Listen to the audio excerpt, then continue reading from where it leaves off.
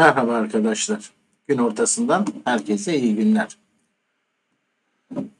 Evet arkadaşlar, e, model şirketimiz Deva Holding.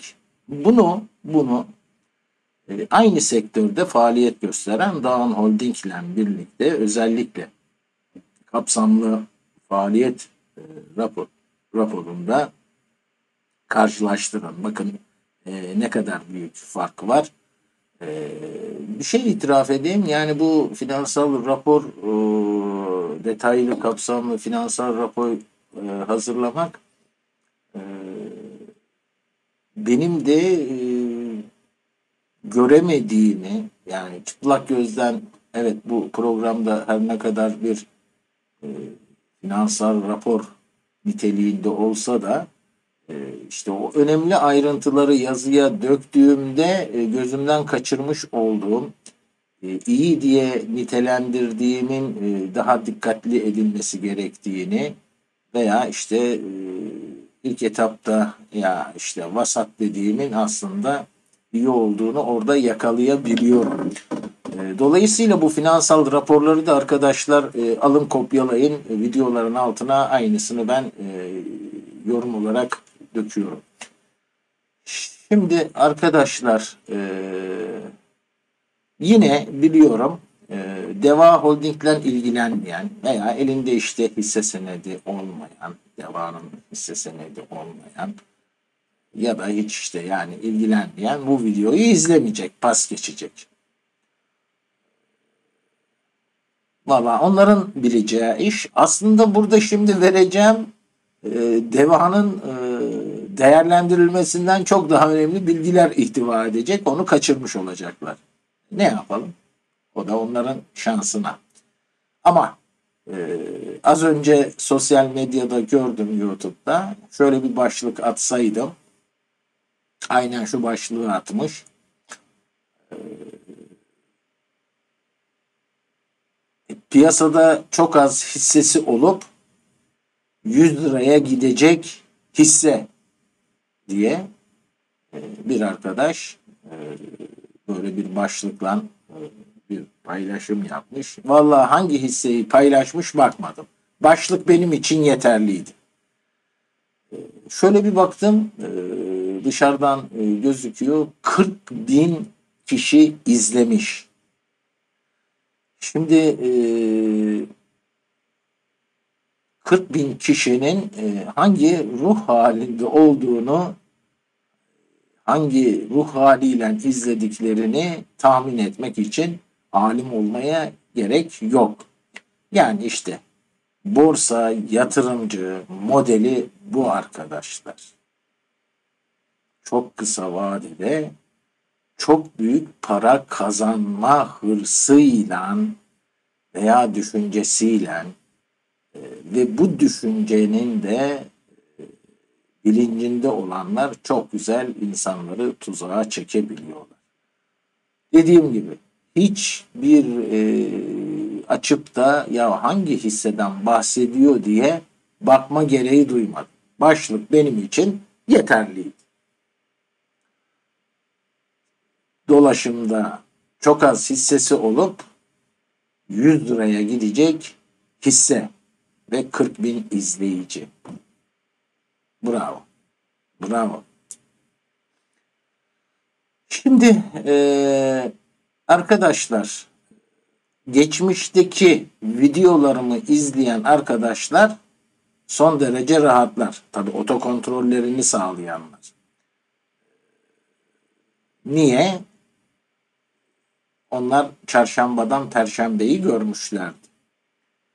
Ve o videolarda geçmiş videolara bakarsanız bakın ilk önce artık e, risk durumundan e, başlıyoruz şirketleri değerlendirmeye.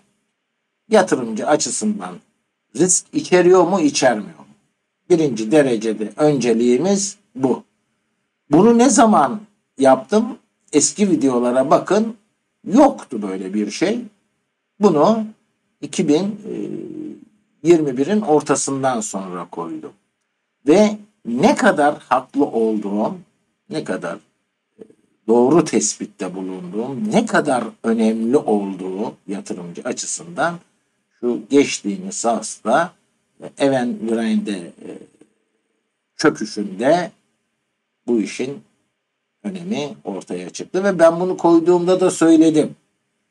E, bu pandeminin, salgının ekonomik olarak işletmeler üzerinde çok büyük bir yük bindirdiği ve e, bunun artık e, özellikle ilk bakılması gereken kalem olduğunu dile getirmiştim.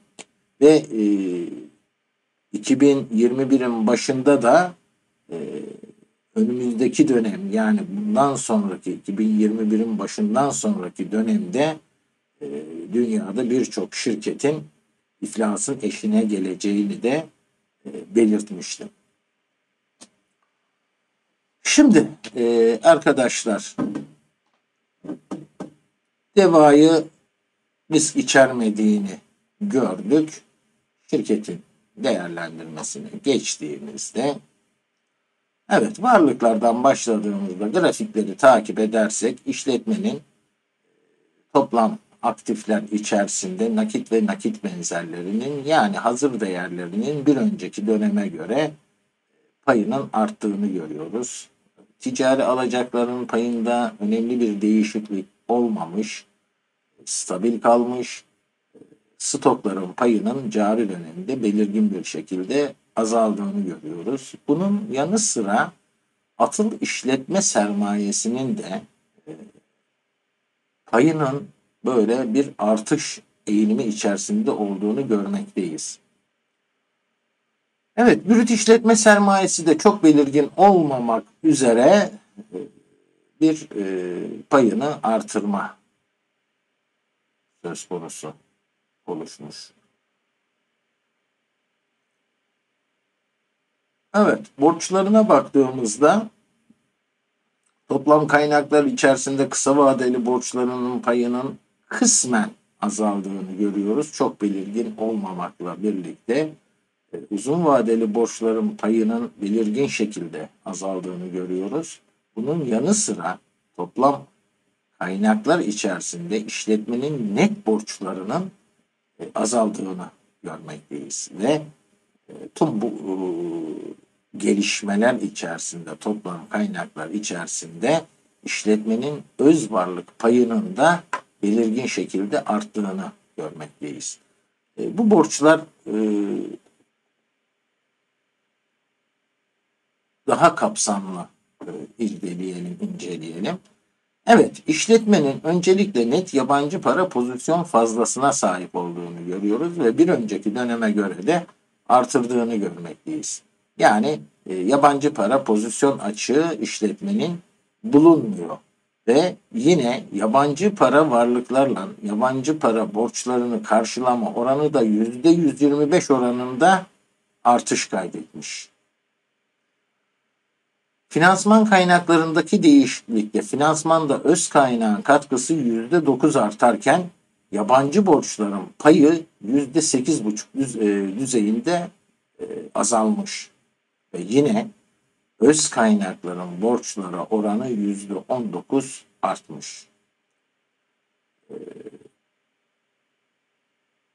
brüt işletme sermayesi %49,5 artış göstermiş son derece olumlu. Ve net finansal borçları yüzde dört artış kaydetmiş. Ee, bu oran düşük olmakla birlikte tabii ki olumsuz bir e, gelişme. Ticari borçların kısa vadeli borçlar içerisindeki payı yüzde 24 düzeyinde azalmış. Yine uzun vadeli borçların payı da toplam borçlar içerisinde yüzde 12 azalmış.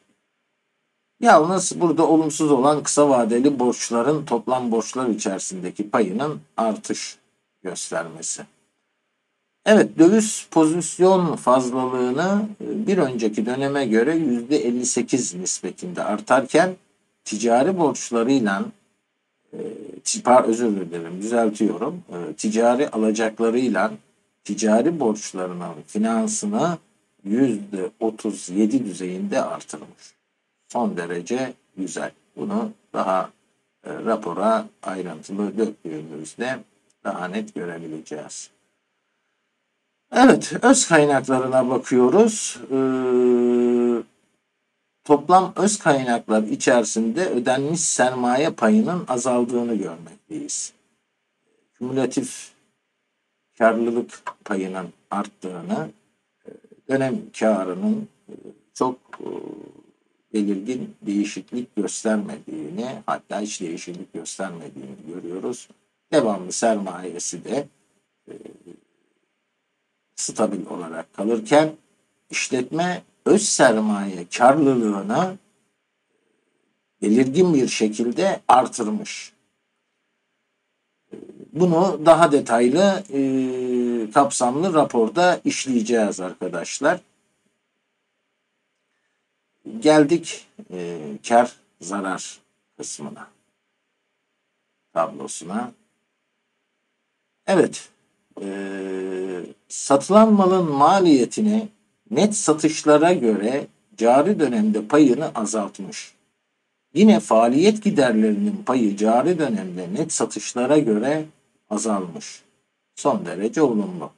Fakat bunun yanı sıra çok belirgin olmamakla birlikte finansman giderlerinin payı net satışlarına göre artış kaydederken esas faaliyet karlılık payını cari dönemde belirgin şekilde artırdığını görüyoruz. Evet bunu nakit akım tablosunda daha kapsamlı göreceğiz ama ilk önce biz yatırımcılar açısından önemli olan kar oranlarına bakalım. %134,5 kar muhafazakarlığıyla cari dönemde işletmenin kar artırıcı muhasebe uygulamalarını tercih ettiğini görmekteyiz. Mali rentabilitesi %25 düzeyinde cari dönemde artarken yıllık artışı %41 olarak gerçekleşmiş. Efektif kar %26 artarken vergi öncesi karlılığı %11 düzeyinde azalmış. Ekonomik rentabilitesi %4 düzeyinde azalırken faiz vergi öncesi karlılığı %35 ile sınırlı kalmış. E, kümülatif karlılık yani birikimli karlılık %37 artarken faaliyet karlılığı %11 ile düşük düzeyde gerçekleşmiş. İşletme verimliliği de %38'den bu da düşük olarak gerçekleşmiş. Evet, daha kapsamlı olarak nakit akım tablosuna baktığımızda işletme faaliyetinden net nakit girişi %375,5 düzeyinde artmış son derece olumlu. Esas faaliyetlerinden nakit girişi ki son derece önemli %242,5 artış kaydetmiş. Şirket dönem karı gelir tablosunda her ne kadar 403 milyon e, kayıt altına almasına rağmen işletmenin kasasına giren dönem karı 624 milyon TL. Yani kayıt altına aldığından %55'i daha fazlası işletmenin kasasına girmiş. Evet 624 milyon e, dönem karı e, kasasına girmesine rağmen hazır değerleri 166 milyon 161 bin TL azalmış.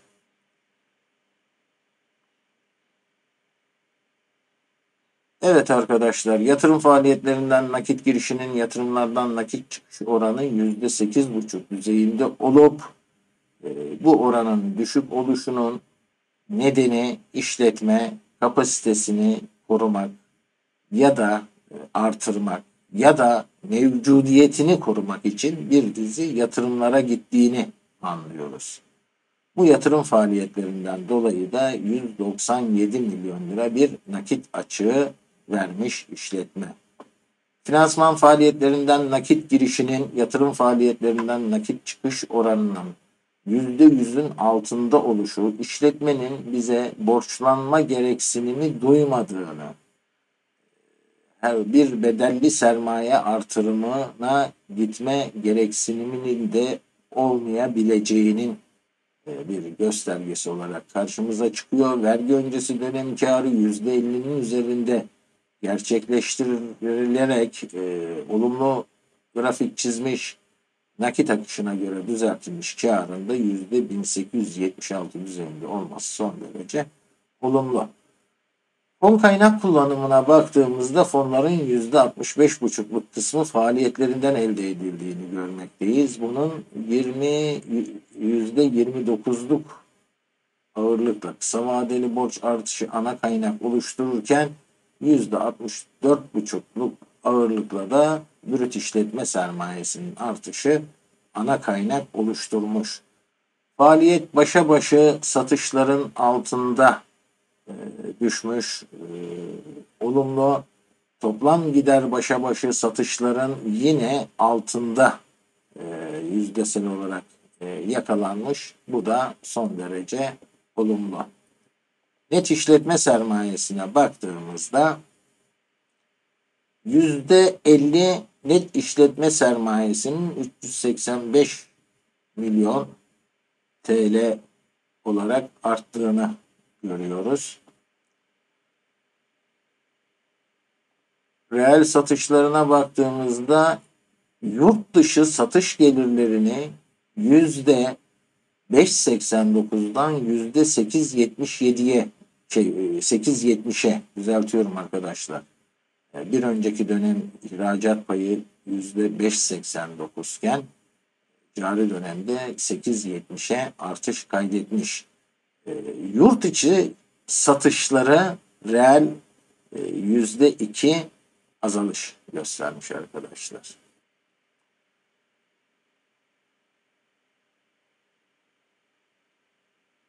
Cari fiyatlarla değil, reel.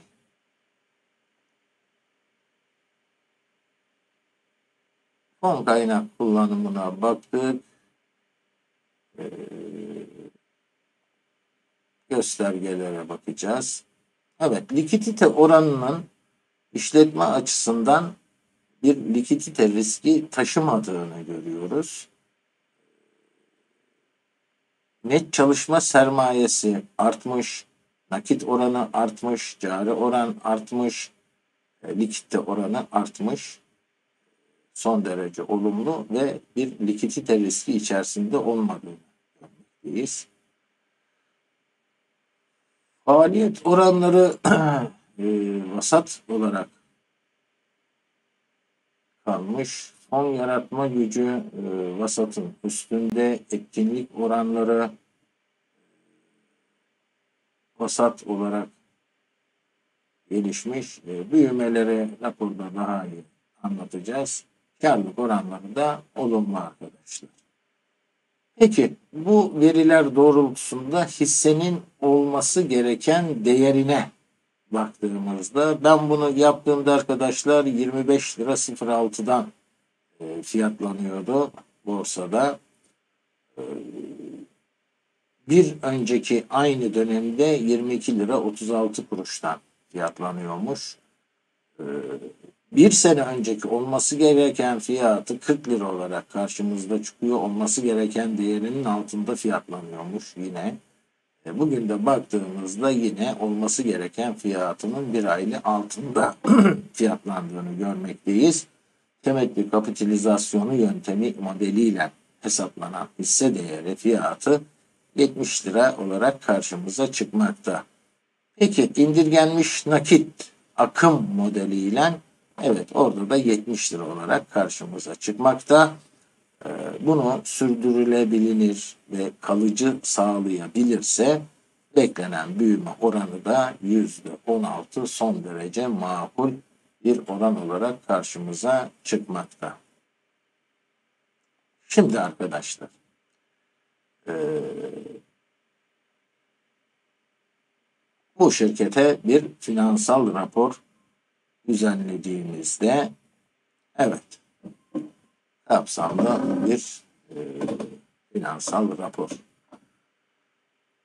Varlık yapısı. Şirketin varlık yapısı e, arkadaşlar tekrar hatırlatayım. E, bunu aynı sektörde faaliyet gösteren Doğan Holding'in var sayfamızda, kanalımızda. O eğitim videosundaki, Doğan Holding eğitim videosundaki finansal kapsamlı finansal raporla karşı karşıya koyduğunuzda aynı zamanda da iki şirketi e, mukayese etmiş olacaksınız. Yani şirket değerlendirilmesinde de e, bu kriterleri göz önünde bulundurun. E, evet, şirketin varlık yapısı bilanço düzenlemesine göre inceleme döneminde değişmemiş. Gayri safi işletme sermayesi payı yüzde 62 buçuktan yüzde 63 buçuğa yavaş artarken Toplam sabit varlıkların payı da yüzde 37 buçuktan yüzde 36 buçuğa yavaş azalmış. Şirketin maddi duran varlıklarının yüzde 44 buçuğu 2021'in 6. ay sonu itibariyle amorti edilmiş, brüt sermaye artışına cari dönemde nakit ve nakit benzerleri varlıklarının payının artışı katkı sağlamıştır. Finansal yapı Şirketin inceleme döneminde finansmandaki payı yüzde 49,5'tan yüzde 53,81'e artmıştır. Arkadaşlar bir şey daha hatırlatayım. Burada olumsuz gelişmeleri kırmızı kalın olarak yazdım. Ee, yani e, nelerin olumsuz olduğunu e, ve mukayesede de e, iki şirket arasındaki bu renklerle takip ederseniz aynı zamanda hangi kalemlerin de önem arz ettiğini anlarsınız. Evet, faaliyetlerini öz kaynakları ile fonlamaktadır. Faaliyetler cari döneminde %54 oranında öz kaynakların %46 oranında yabancı kaynaklarla fonlamaktadır.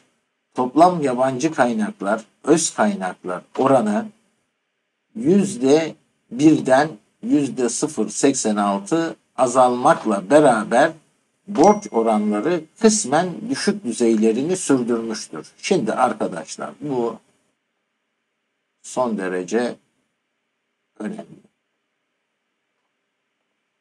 Şimdi gelelim buraya. Şimdi arkadaşlar e, bu sizin için de önemli. Yani hisse senedi yatırımcısı aynı zamanda da bir e, ticari faaliyet gösteriyor arkadaşlar. Yani işletmelerle sizin yaptığınız işin hiçbir farkı yok.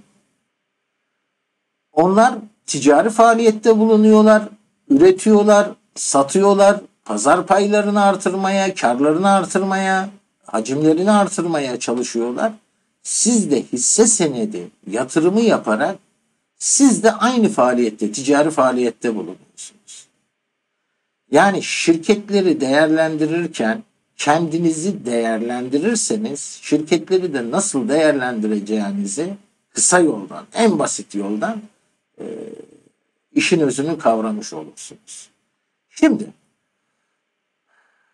toplam yabancı kaynaklar öz kaynaklara oranı yüzde 1,02'den yüzde 0.86'ya azalmakla beraber borç oranları kısmen düşük düzeylerini sürdürmüştür.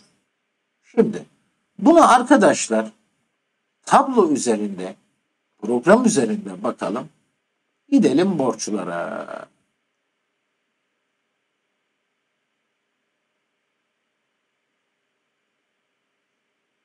Şimdi bakın arkadaşlar. Şu oran toplam borçların öz kaynaklara oran. Bakın bir önceki dönemde toplam borçların 1 milyar 293 milyon 392 bin liraymış. Buna karşılık öz kaynakları 1 milyar 264 milyon 461 bin liraymış. Bir önceki dönem. Cari döneme geçiyoruz ve e, toplam borçlarla öz kaynakları oranladığımızda birebirmiş. Yani işletmenin 1 lira borcu varsa öz kaynakları da 1 liraymış. İşte birazcık üstündeymiş. Fakat cari döneminde bu ne olmuş? Toplam borçlar 1 milyar 666 milyon 688 bin liraya çıkarken öz kaynakları da 1 milyar 264 milyondan 1 milyar 941 milyona yükselmiş. Bakın varlıklarına varlıklarına bir önceki dönem yüzde elli buçuk düzeyiyle borçlarıyla fonluyor işletme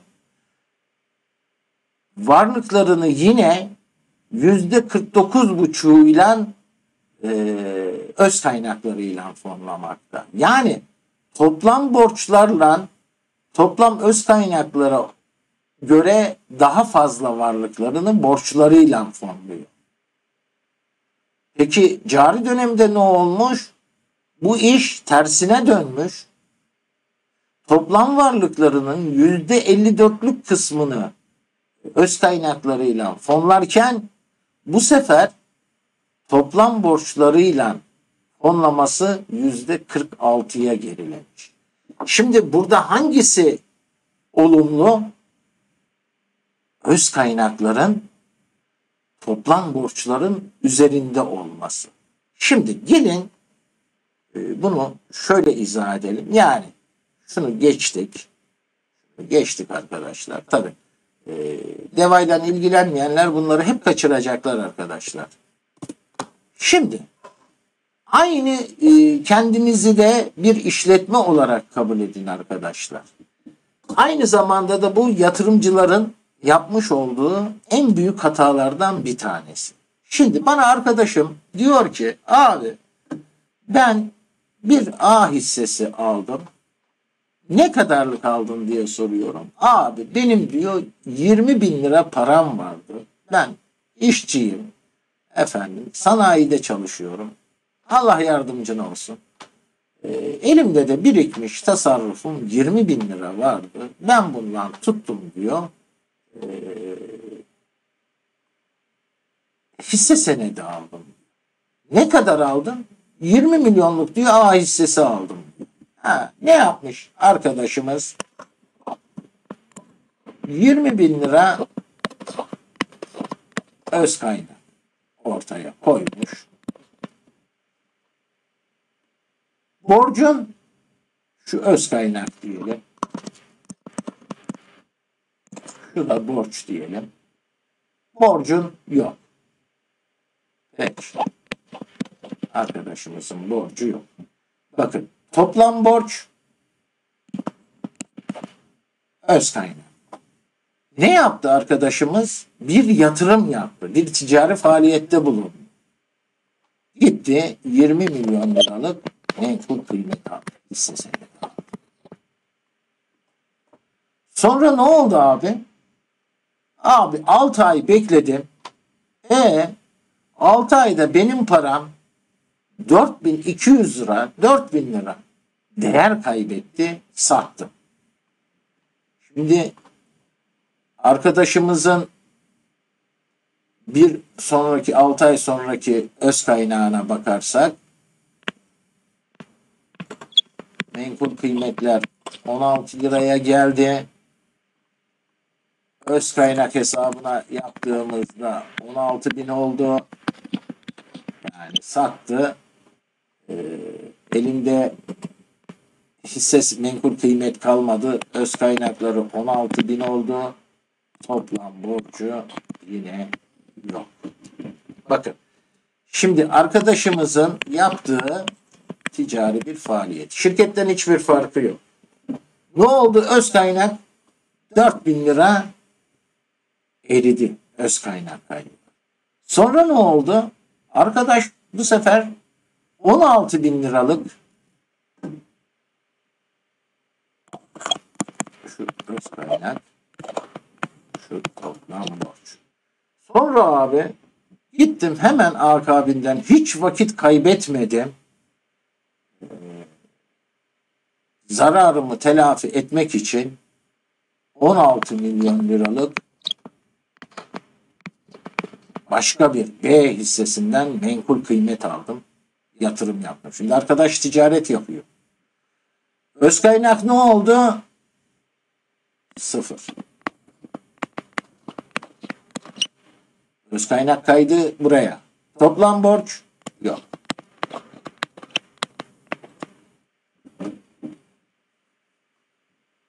Şimdi arkadaşlar defalarca ne dedik? Benim kardeşim burası riskli piyasa. Videoları izlemedim. Önemli değil. Elinde 16 milyon öz kaynağın var. 20 bin lira öz kaynağın var.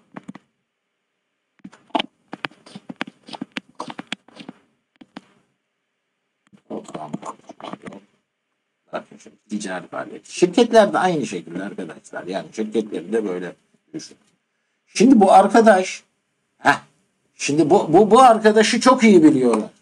Şimdi bu arkadaş zararı büyütmeye psikolojik olarak hazır. Zararını büyütmeye psikolojik olarak hazır. Ee, bu 16 milyon da 16 bin lirası da şu anda e, muhtemelen şu en son düşüşten değer kaybettiğini düşünelim. Bu oldu 15, 14 neyse yani bilemiyoruz. Şimdi bu arkadaş agresif hareket etmeye mahkum. Şurada elini kaptırdı. Burada elimi kaptırayım derken burada kol da gitti. Şimdi bakın bu arkadaş nereye doğru gidiyor? Misal olarak veriyorum. Ben e, o arkadaşımızı kasten değil ama genelde küçük yatırımcıların en büyük hatalarını burada ortaya koyuyor. Şimdi bu arkadaş burası da gitti. 6 ay daha bekledi. O kağıt geldi 10 liraya. Allah'tan borcu yok. Toplam borcu yok. Ee, dedi ki yarın bir gün küstü veya buradan bir başka kağıt ona işte çıktılar, söylediler sosyal medyada oradan buradan uzun vadeli dediler. 10 bin liradan çıktı. Öz kaynakları yarı yarıya fire verdi. Elindeki 20 bin liralık öz kaynağı oldu 10 bin lira. E, oldu ya işi rast gitmedi. Kriz büyüdü efendim. O sosyal medyadan da artık kötü niyetlen bir hisse söyledilerse, mal çıkmak için hisse söyledilerse 10 milyonu 5 milyona düştüğünde bu arkadaş 15 milyonu kurtarabilmek için gidecek ya tüketici kredisi çekecek ya ihtiyaç kredisi çekecek. Bir şey yapacak, borçlanacak.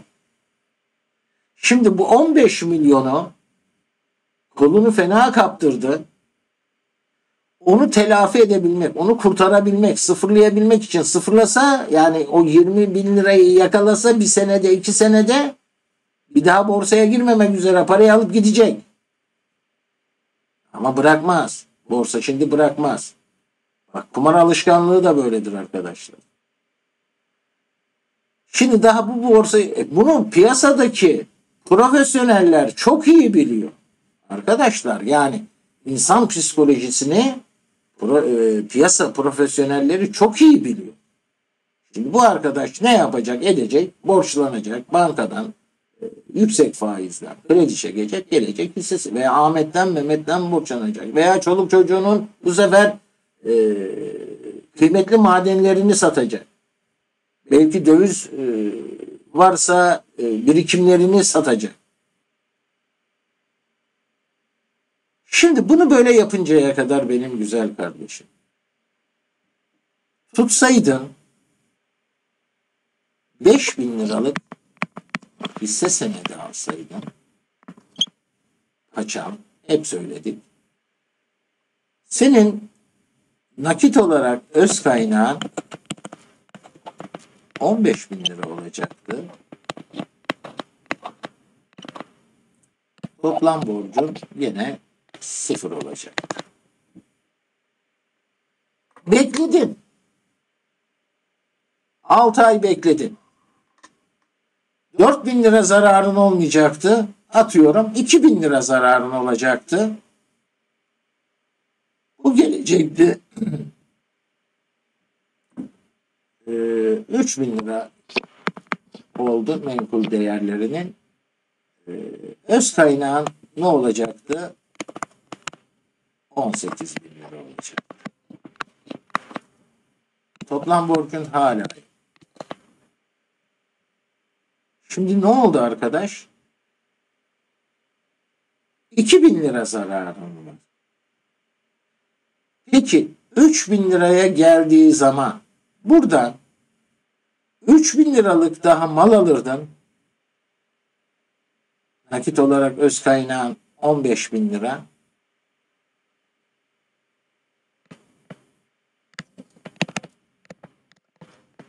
Öz kaynağın 12 bin liraya inerdi nakit olarak. Efendim ee, menkul kıymetin e, menkul kıymetlerin 6 bin lira olur.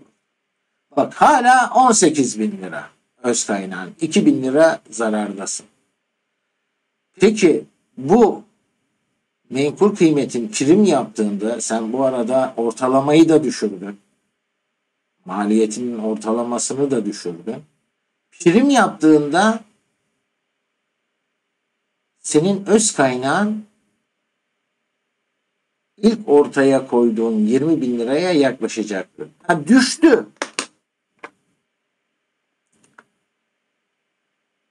Gene düştü.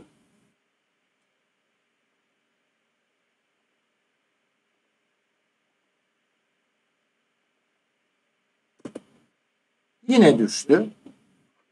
Efendim veya başka bir kağıt aldın, çıktın. Öz kaynağın 12 bin lira.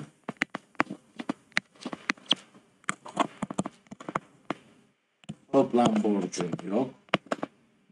Elinde de menkul kıymet yok. 8 bin lirayla efendim e, kepenki kapattım. Veya ticari faaliyetine devam ediyorsun. Arkadaşlar bunun aksi de olabilirdi. Mesela 20 bin liralık aldı. Tuttu işte e, şunu yapalım e, 10 bin liraya gel, 5, 5 bin liraya geldi. Bekledi bir sene. Toplam öz kaynak oldu 5 bin lira. Efendim hisse senedi de bakalım yukarıya ne olmuş. Bu en son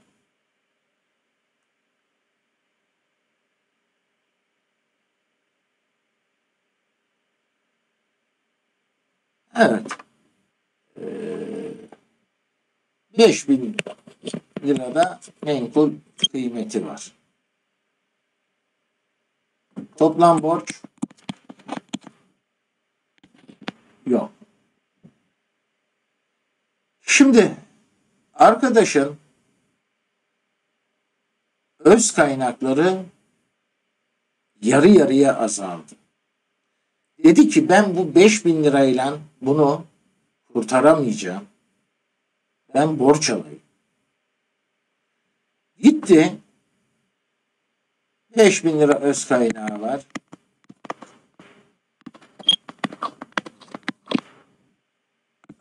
Toplam borçları 10 milyon oldu. Hisse senedi 5000.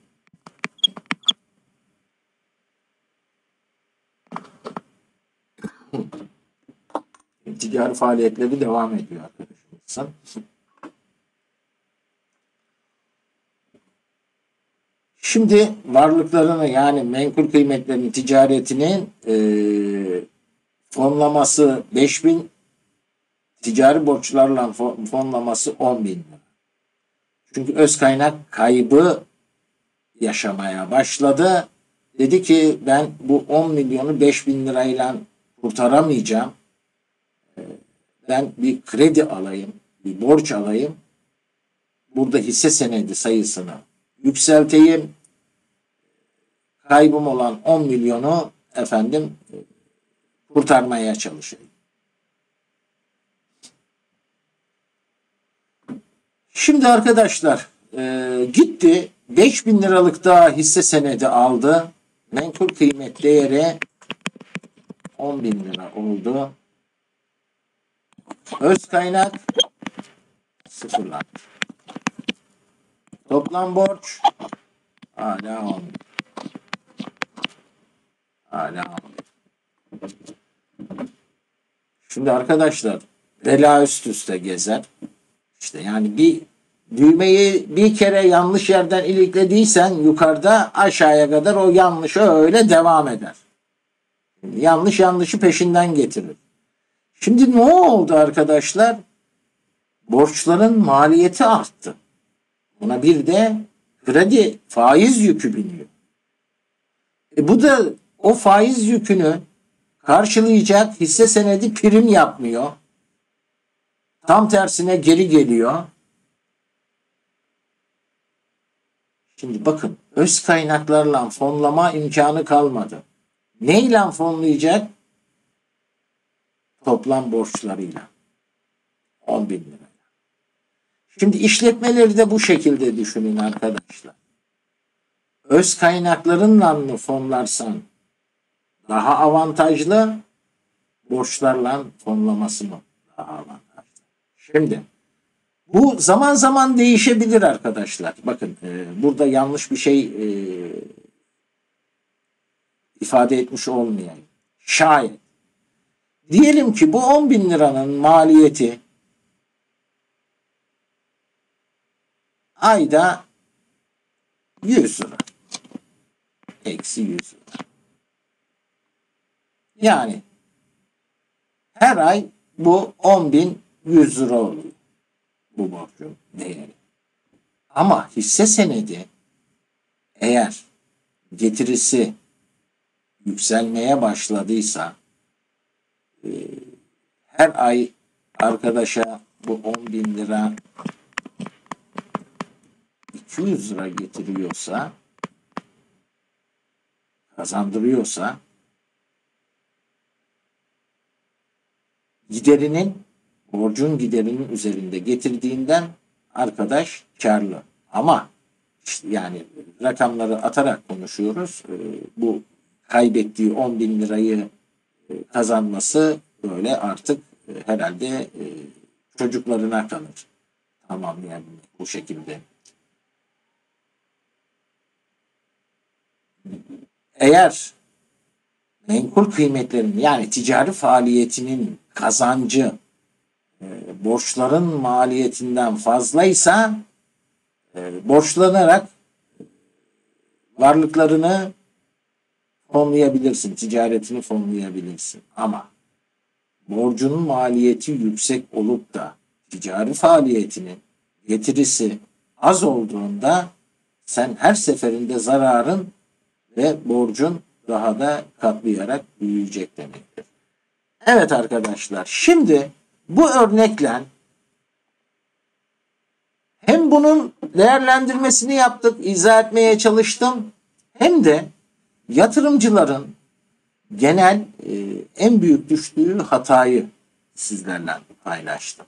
Yani burada ne yapması gerekiyor hisse senedi yatırımcısının ilk önce bir kere işletmenin riski olmayacak. İşte gördük.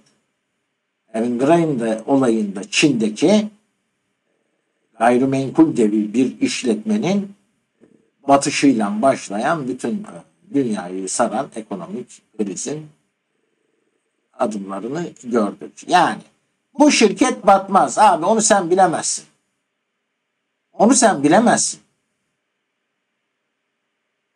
Bu verileri oradaki o risk verilerini biz yazmıyoruz. Şirketin göndermiş, kapa göndermiş olduğu veriler doğrultusunda çıkıyor o risk. Demek ki arkadaşlar işletmenin öz kaynakları öz kaynakları borçlarını üzerinde olacak. Yani kepengi kapattı. Ben dedi ticari faaliyetlerimi bitiriyorum arkadaş. Ben ticaretten çekiliyorum dedi. İşletmeyi sattığında şu öz kaynakları ticari borçlarını üzerinde olmalı. Şimdi arkadaşımız burada ben tamam dedi. E ne yaptı? Hem ticari faaliyetini bitirdi kepenki bir de borçlanarak yani 20 bin liralık öz kaynağını tüketti. Efendim 5 bin lirada borçlan. Ben dedi bu işten çekiliyor. Şirketleri değerlendirirken de bu şekilde değerlendirmek lazım. Yani toplam borçlarına bakacaksınız, öz kaynaklarına bakacaksınız. Toplam borçlarla öz kaynakların oranlarını karşılaştıracaksınız. Ne yapmış? Bir önceki dönem bire birmiş. Cari dönemde gerilemiş. Ha, ben şimdi ne yapacağım? Üçüncü çeyrekte bu ne tarafa evrilmiş? Bu yüzde seksen e, yüzde sıfır seksen altı bir sonraki üçüncü çeyrekteki dönemde 0.86'nın iniyor mu? Yoksa tekrar borçlanma ivmesi mi kazandı? Bakın arkadaşlar sadece olması gereken fiyat yeterli değil. Öz kaynaklar artarken borçlar ne kadar artmış? Karı artarken borçları ne kadar artmış? Bunların oranlarını yapacağız. Evet. Şimdi devam edelim rapora.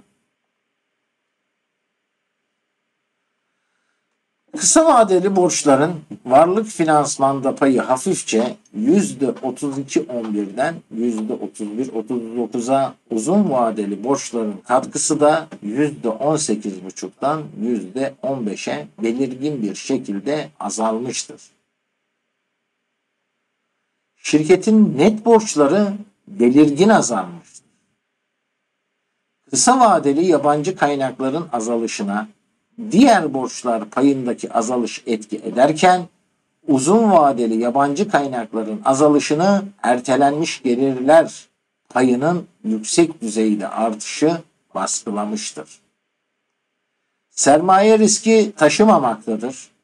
Şirketin 2021'in 6. ay sonu itibariyle öz kaynaklarının %10,30'unu ödenmiş sermaye, yaklaşık %136'sını da iç sermaye yaratımıyla yedek akçeler geçmiş yılların karları ve net dönem karı oluşturmaktadır. Likidite riski Şirketin likiditesi bilanço düzenlemesine göre inceleme döneminde belirgin şekilde değişmemekle birlikte cari oran 1.95'ten 2.03'e, likidite oranı da 1.26'dan 1.36'ya, net e, işletme sermayesi %30.5'tan %32'ye yavaş artarken ortalaması 1 milyar 127 milyondan 816 bin TL'ye azalmıştır. Likidite oranındaki pozitif değişim kısa vadeli borçların %38 artış düzeyi ile gayri safi işletme sermayesinden %43,5'tan daha düşük artışından kaynaklanmıştır. Yani gayri safi %43,5 artarken kısa vadeli borç %38 artmış. Yani brüt işletme sermayesi kısa vadeli borçlardan daha fazla arttığından işletmenin likidite oranına pozitif olmasının nedenini olmuş. Likidite oranındaki yavaş da olsa artış stoklar bir önceki döneme göre %27,5 oranında artsa da gayri safi işletme sermayesinin içindeki payının %33,37'den %29,69'a azalması etkili olmuştur. Şirketin nakit oranı nakit ve nakit benzerleri varlıkların kısa vadeli yabancı kaynaklara oranı yüksek düzeyde olup inceleme döneminde %57,80'den %68,48'e hızlı oranda artmıştır. Şirket nakit varlığını bankalarda kısa vadeli mevduat olarak tutmalı Oluşan yabancı para ticari borçlarına karşı yabancı para vadeli mevduat bulundurmak yoluyla kur ve yabancı para likidite risklerine karşı korunma altına almalıdır. Göstergeler yabancı para cinsinden işlemler kur riskinin oluşmasına sebebiyet vermektedir. Şirket döviz cinsinden varlık ve yükümlülüklerinin Türk lirasına çevriminde kullanılan kur oranlarının değişimi nedeniyle kur riskine maruz. Faaliyetleri nedeniyle finansal risk taşımaktadır. Döviz pozisyonu. Şirket dövizde uzun pozisyondadır. Net yabancı para pozisyonu önceki yıla göre 515 milyon 317 bin TL'den cari dönemde 813 milyon yani 297 milyon 685 bin 793 TL artmıştır. Döviz fazlası yaratmasına rağmen şirket yabancı para cinsinden parasal varlık ve yükümlülüklerinin TL'ye çevrilmesinden dolayı kur değişiklerinden doğan döviz kuru riskine maruz kalmaktadır. Kaynak kullanımında finansal etkinlik Şirketin finansal verimliliği kaynak kullanımında etkinliği çok belirgin olmamakla birlikte artmıştır. Finansmanda öz kaynağın katkısı %8.84 artmış, yabancı kaynakların payı %8.64 azalmıştır. Tüm bu olumluluk karşısında net finansal borçlarının %4 yavaş da olsa artması olumsuzdur. Net satışlarına göre stok devir hızı 3.12 e, kez yıldan 2.81 kez yıla, alacak devir hızı da 2.98 kez yıldan 2.50 kez yıla azalmış. Alacakların tahsil süresi 123 günden 146 güne stoklar, e, 146 güne stokların nakde dönüşüm gün sayısı da 117 günden 130 güne artmıştır. Stok ve alacak devir hızlarının birlikte düşmesi sonucu optimum etkinlik oranı azalmış, nakde dönüşüm süresi 240 günden 276 güne artmıştır. Faaliyet karlılık oranı %38,26'dan %42,50'ye artarken ekonomik katma değer azalmıştır. Gayri safi işletme sermayesi devir hızı 0,56 e, kez yıldan 0,46 kez yıla azalırken öz sermaye devir hızı da 0,70 e, kez yıldan 0,55 kez yıla azalmıştır. Şirket 657 gün işletme sermayesi ile çalışırken bu süre 789 güne çıkmıştır. İşletme sermayesinde yönetim etkinliği azalırken devir hızının kısmen azalması izleyen dönemlerde iş hacminin genişlemesinin ve veya global risklerin de artmasıyla getireceği finansman gereksiniminin öz kaynaklarının neredeyse eşit seyreden yükümlülüklerinin göreceli, göreceli olarak artıracağı gibi karlılığını da olumsuz etkileyebilir. Biraz önceki gösterdiğim arkadaşlar. Yani bir önceki dönem bire birmiş. Toplam borcu birse öz kaynakları da birmiş. Bu cari dönemde 0.86'ya gerilemiş. Yani öz kaynaklar toplam borçları baskılamaya, üstüne çıkmaya başlamış. Eğer bunu sürdürülüp sürdürülemeyeceğini sürekli bir grafik halinde getirilip takip edilebilir. Yatırımcılar açısından söylüyor. Karlılık Şirketin inceleme döneminde satışların büyüme cari fiyatlarla %19,5, sabit fiyatlarla %1,71 çok düşük büyümüştür. Şirketin karlılık oranlarında önceki döneme göre belirgin bir değişme göstermemiştir. Gayri safi satış karlılığı %53,39'dan %55,5'a artarken maliyet enflasyonu bu artışı kısıtlamıştır baskılamış. Esas faaliyet karlılığı %38,26'dan %42,5'a artmış, araştırma ve geliştirme giderlerinin cari dönemde azalışı etki yaratmıştır.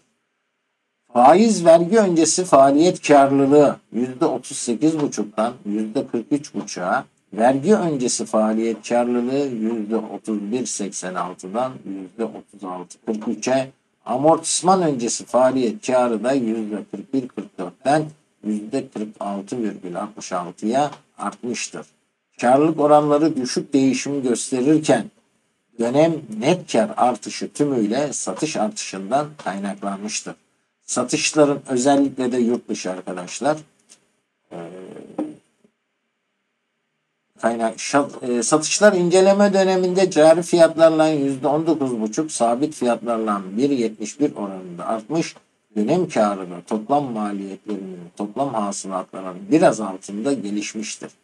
Öz sermaye karlılığının yüzde 17,79'dan 25 %25,13'e yavaş artmış öz sermaye devir hızının sınırlı ve kısıtlı azaltmıştır. Finansal kaldıracın kısıtlı ve sınırlı azalışı borç maliyetinin de sınırlı ve kısıtlı azalışına neden olmuştur. İnceleme döneminde öz sermaye devir hızı da 0.70 kez yıldan 0.55 kez yıla varlık finansmanında borçların payı da %50,57'den %46,19'a azalmıştır. Şirketin brüt kar marjının %4 düzeyinde düşük artış olması yanı sıra öz kaynak ve varlık devir hızlarının göreceli yavaşlığı, finansal kaldıraç etkisinin düşük oluşu, öz sermaye karlılığının düşük düzeyde oluşmasına yol açmaktadır. Yani biraz önce e, programda belirgin bir şekilde artışını gördüğümüz öz sermaye karlılığının aslında şirket brüt kar marjının düşük düzeyde artışı yanı sıra öz kaynak ve varlık devri hızlarının göreceli yavaşlığı, finansal kaldıraç etkisinin düşük oluşu o göreceli olarak belirgin şekilde artırılmış öz sermaye karlılığının aslında şu olumsuzluklar olmasa baskılamasa bunlar daha da yüksek oranda, daha da belirgin oranda artacağını anlıyoruz. Şirketin dönem net kar artışı faaliyet sonucu yaratılan kaynağın cari fiyatlarla %35,87 düzeyinde artışına olanak vermiştir. Bu gelişmeler doğrultusunda kaynak yaratma gücü göstergelerinde önceki döneme göre artışa yol açmıştır. Yaratılan kaynağın satışları oranı %38,81'den %44,11'e artmış. Varlık toplamına oranı %13,48'den %13'e yavaş azalmış. Yaratılan kaynağın borçlarını karşılama oranı da %42'den %41.37'ye yavaş azalmıştır. Şirket otofinansman iç sermaye yaratım yoluyla toplam borçları birebir düzeyde oluşu, öz kaynaklarını artırma faaliyetini fonlamak politikası izleyip kar dağıtımında tutucu davranacaktır. Şirketin sanayi maliyet yapısı, finansman şekli, faaliyet giderlerinin boyutu, gider maliyet indirimi yoluyla karlılığı artırma olanağını sınırlamaktadır. Şirket ancak satış artışına, devir hızlarını özellikle arkadaşlar yurt içi satış artışını azalmıştı. E, reel. Devir hızlarını, finansal etkinliğini yükseltme ve maliyetlerini düşürmek yoluyla karlılığını artırabilecektir. Evet, bugünün tarihini atalım arkadaşlar. Ben bunu bayağı hazırlamışım da bugünün tarihini ben kaçırdım. Bugün 22, evet şunu 22 diyelim arkadaşlar. Paylaştığımız gibi. Ya da orijinali kalsın. Evet arkadaşlar. Ee, anlatacak çok şey var ama yeter. Bir başka eğitim videosunda görüşmek üzere. Gün ortasından herkese hayıpsız seanslar diliyorum.